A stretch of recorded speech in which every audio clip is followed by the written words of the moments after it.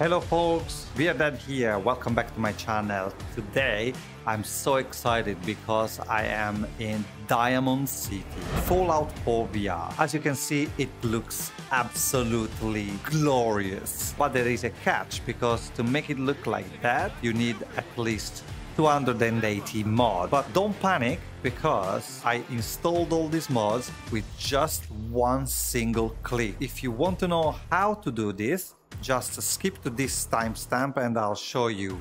Very easy. If I can do it, you can do it. Otherwise, stay with me, watch this gameplay a little bit where I show you what this uh, mods has to offer and then you decide. The first thing you will probably notice so as soon as you install the mod list is the weather.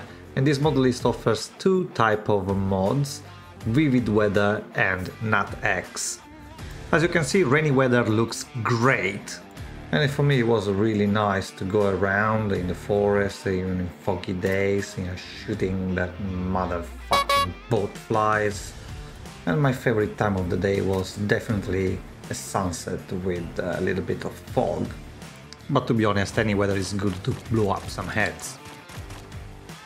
And then of course there are radioactive storms, so gorgeous that they make it worth the extra radiation intake. Can't wait to explore all the other areas to see how they look like.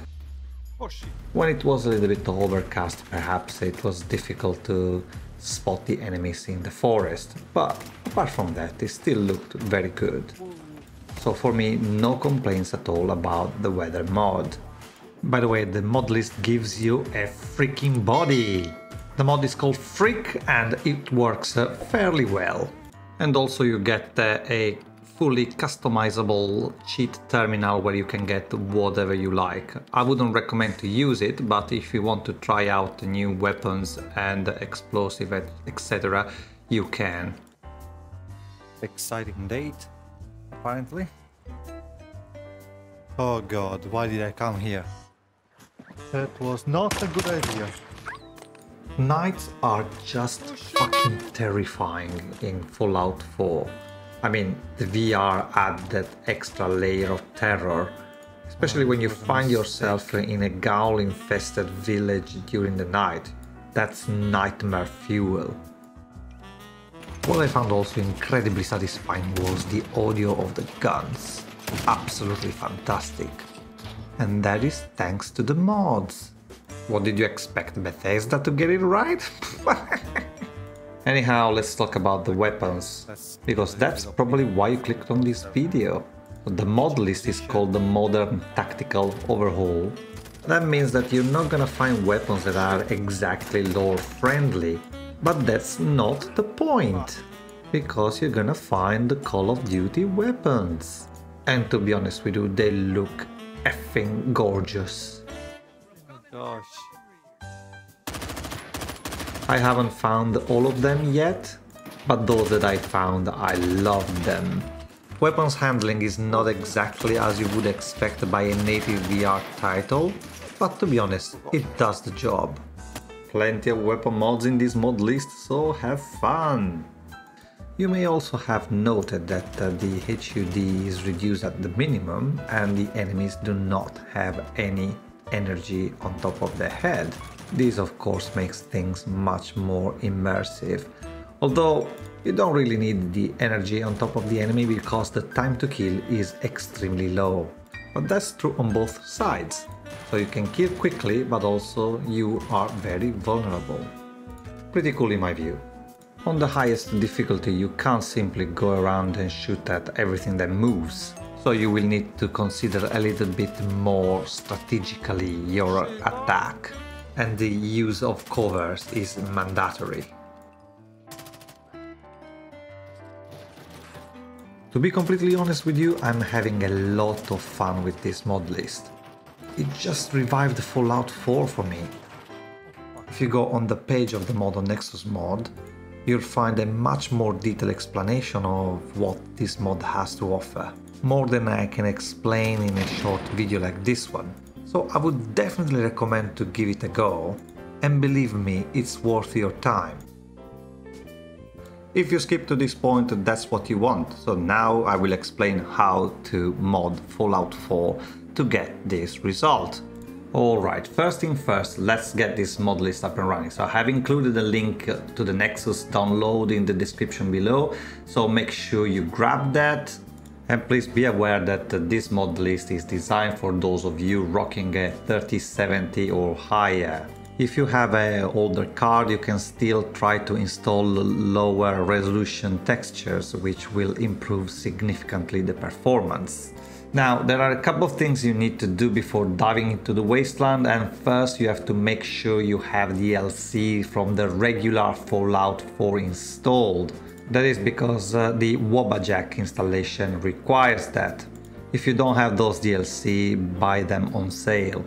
Also, I would strongly recommend the premium account on Nexus Mods, because otherwise you would spend a lot of time just clicking on confirming the downloads.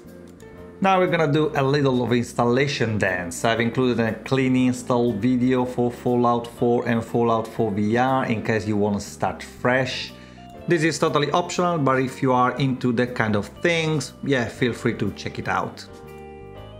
After that it's time to copy the DLC from Fallout 4 to Fallout 4 VR, so you need to grab those 32 files that start with the DLC from Fallout 4's data folder and paste them into Fallout 4 VR's data folder.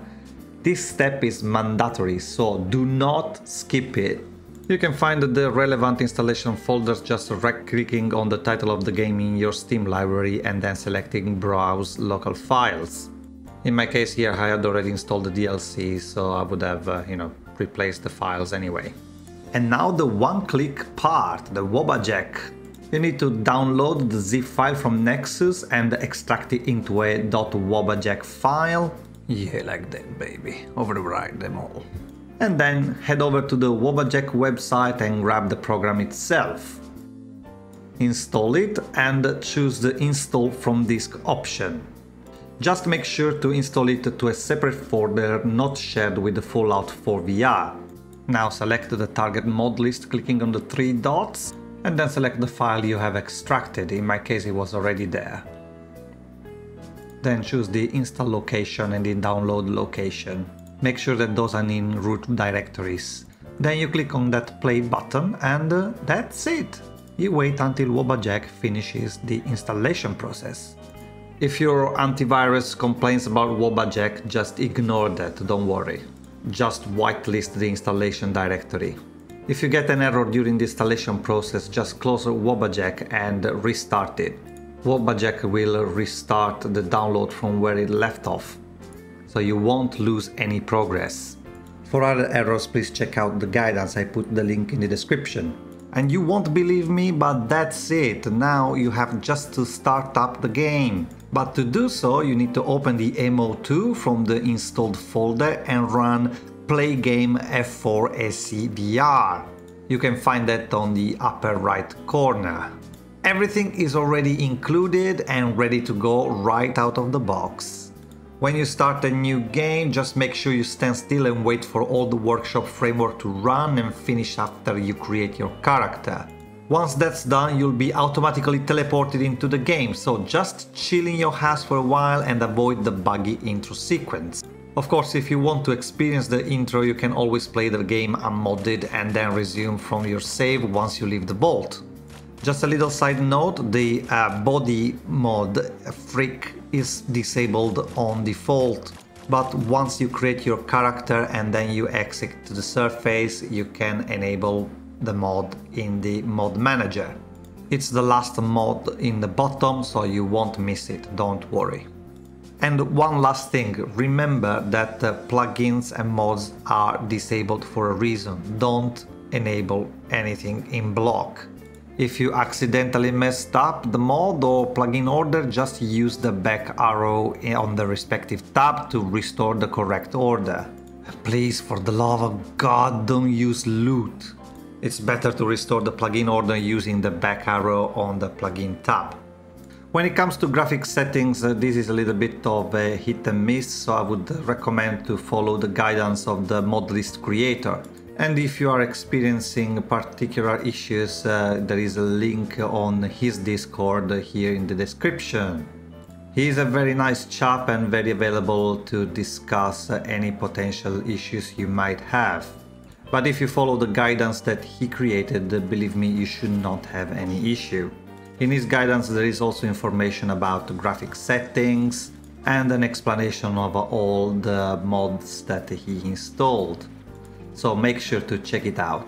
And last but not least, remember to endorse his work uh, on Nexus Mod. It's the best way to support his effort and let him know how much you're enjoying his content. If you found this video helpful, please do not forget to hit the subscribe button. I've got plenty more exciting content coming in your way so you don't want to miss that out. And that wraps out Fallout 4 VR Modern Tactical Overhaul video. So I hope you are as excited as I am to dive into this intense and immersive experience. As always, thanks for watching, stay safe in the wasteland. VR Dad, signing out.